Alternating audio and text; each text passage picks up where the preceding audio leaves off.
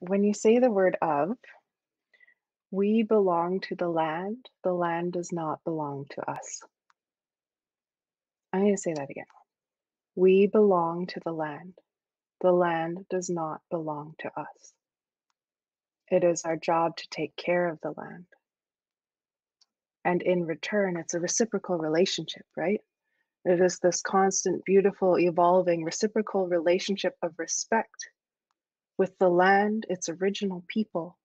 We must remember its original people because we are original people of somewhere. Um, and to uphold that respect by caring for the land. And in return, we are always, always taken care of. Um, something my dad has always taught me is ask, and the answer is always yes. Everything you need is always provided, especially on the land. Powerful and, and so true. And, and and so thank you. And I like Tina for you saying we remember as we remember this because we have forgotten. Many of us have forgotten this. We we all know this at some point at somewhere in our our body. We we just have for, some of us have just forgotten. And so yes. Um, so thank you for that.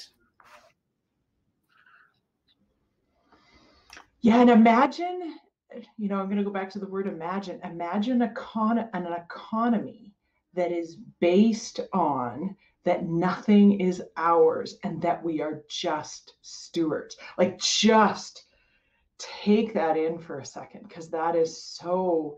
Um, that's that is decolonization, right? Like where where I, I loved what you said, and it is so powerful. And if we can remember that nothing actually belongs to us and that we are stewards for the time that, that our, our feet are of the land, that's. Um, and this reminds me of one of the things that Diane Whalen said, and that is we don't owe our children an economy.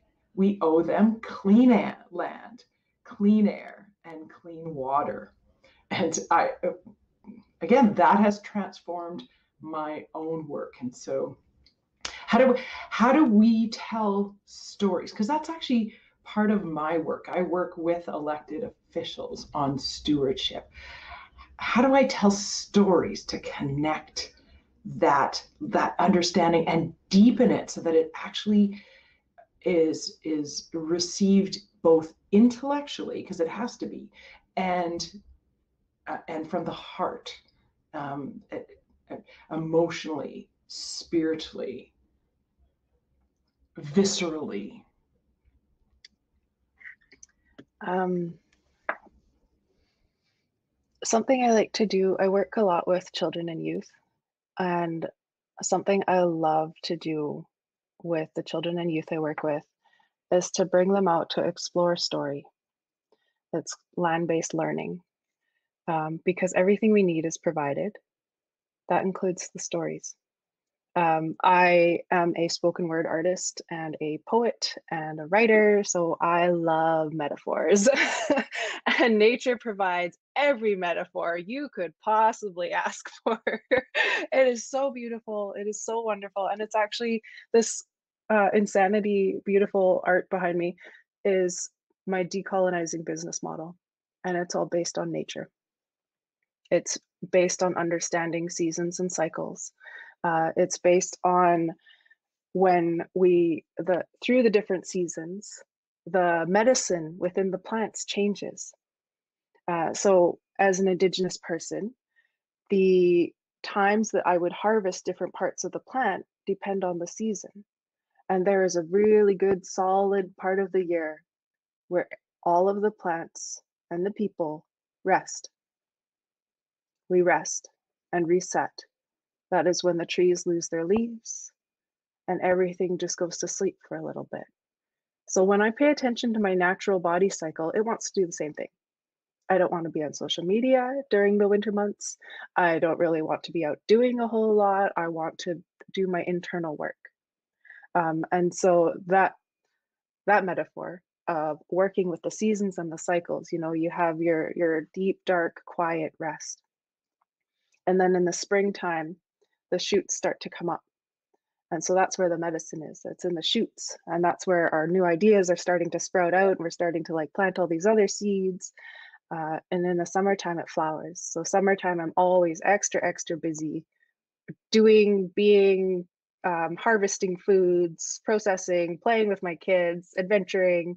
Uh, it's a very, very busy season. So, I'm, I'm in my flower cycle. And in the fall, and this is something I'm learning in my unlearning and learning, we shed what is no longer serving me. As I'm growing into this person, what is no longer serving the person I'm growing into? And it's okay to let those things go. That's been the hard part for me. I have serious FOMO. I don't want to miss out on things. So uh, I'm learning to shed. I'm learning to say, okay, that's no longer serving the big vision. Um, and being okay with that because after my rest season and as I move into my my seed and my shoot season, there's going to be more. There's always going to be more and it's this beautiful evolving cycle.